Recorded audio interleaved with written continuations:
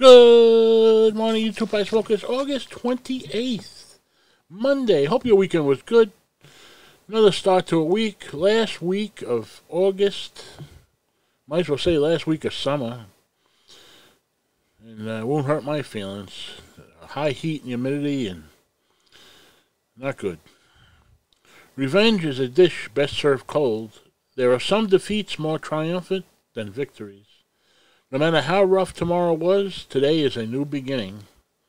You must always find a new way, even when you can't see another way. A good beginning makes a good ending. Have a great day. Be well. Stay safe. Salute. I'll catch you on the next one. Thank you.